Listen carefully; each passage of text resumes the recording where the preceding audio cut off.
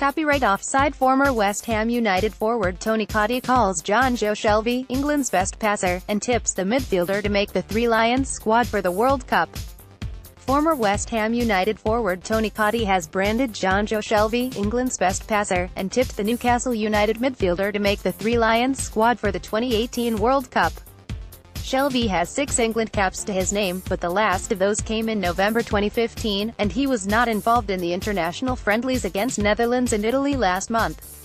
Cottee has claimed that the national team will need something different against the likes of Tunisia and Panama, and has called on Gareth Southgate to call up the former Liverpool midfielder, whether you're talking about Eric Dier, Jake Livermore, Jack Wilshere or Jordan Henderson, whoever you name that's been in that.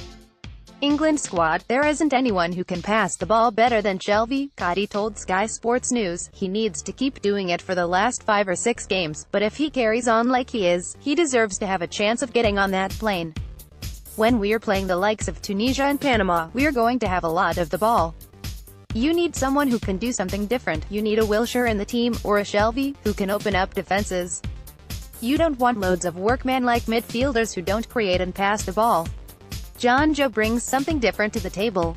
I wouldn't definitely have him in the squad, but if I was Gareth Southgate I'd be looking at him and thinking very carefully, he's probably the best English passer, in terms of passing it 40 to 50 yards.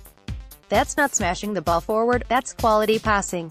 What you need to do with him is get some legs around him and the team, if he's going to spread the ball around, but I think he would give the squad something different. Shelvey has scored twice in 27 appearances for Newcastle this season. Read next. Danny Welbeck only focused on Arsenal. Enter your email address to subscribe to SportsMole's free match previews newsletter. Updates are sent twice a